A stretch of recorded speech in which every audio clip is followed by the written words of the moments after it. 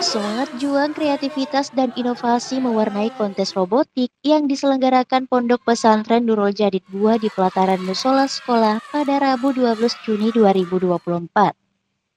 Kegiatan ini merupakan hasil kerjasama dengan Rumah Belajar Robot atau Rubero dan diikuti oleh 32 siswa dari kelas 7 dan 8 yang tergabung dalam 16 tim.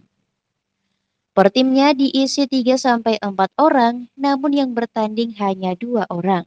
Sisanya membantu saat proses perakitan. Para peserta mempertaruhkan robot hasil rakitan mereka sendiri dalam berbagai kategori lomba. Robot-robot ini dibuat selama mengikuti ekstrakurikuler robotik di sekolah dengan bimbingan langsung dari trainer Rubero. Kegiatan ekstrakurikuler robotika ini baru berjalan selama kurang lebih enam bulan.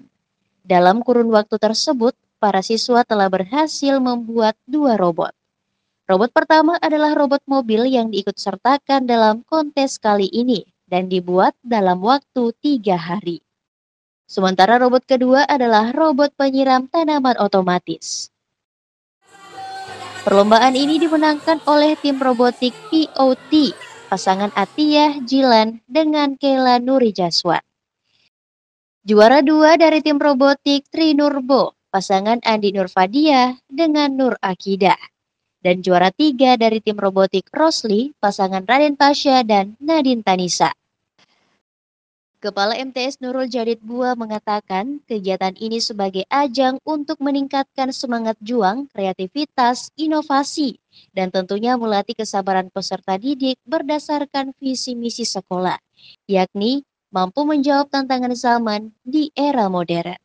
Semoga peserta didik dapat menguasai teknologi karena uh, memang mereka di sini belajar agama, tetapi mudah-mudahan dengan belajarnya teknologi mereka dapat menyaring, memfilter teknologi yang mereka uh, dapatkan di sini ataupun di luar supaya mereka membuat teknologi yang manusiawi.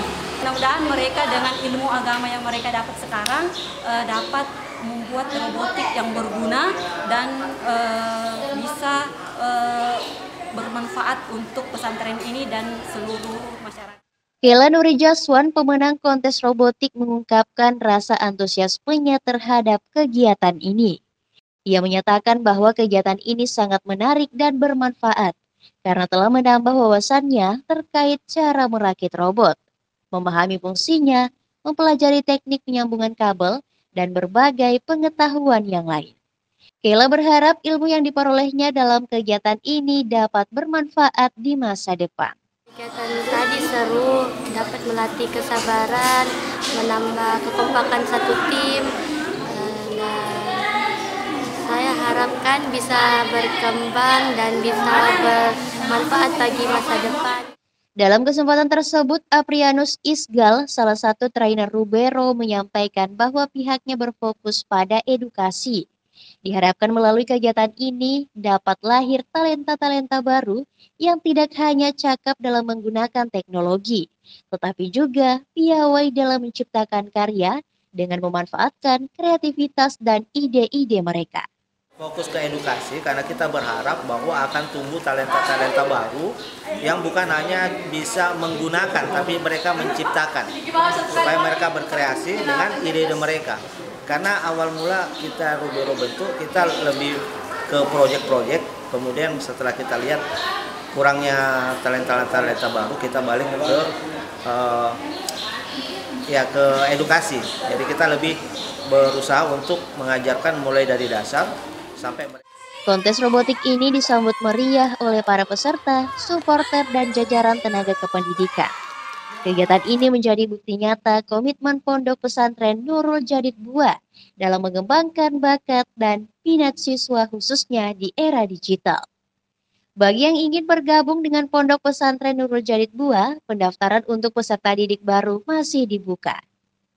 Baik untuk tingkatan sanawiyah maupun aliyah.